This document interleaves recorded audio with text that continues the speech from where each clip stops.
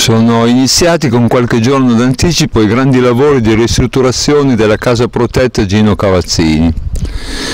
Riusciremo a cambiare tutti i serramenti e a fare un cappotto termico di 14 cm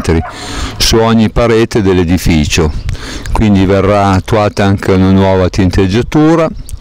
e la sistemazione dei giardini e dei cortili. In pratica una grande azione per favorire la presenza dei nostri ospiti, ma anche per aiutare l'ambiente a avere meno emissioni in atmosfera, visto che si consumerà e si sprecherà molto meno l'energia, l'energia del riscaldamento. Questo ci fa notevolmente piacere e tutto questo però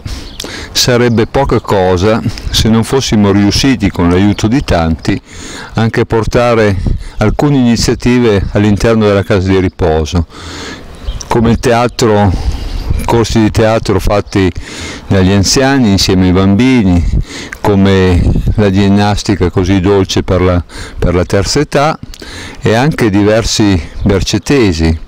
diversi cittadini che frequentano la casa protetta Gino Cavazzini con delle iniziative che coinvolgono gli ospiti e questo mi fa molto piacere ed è un incentivo anche ad avere un edificio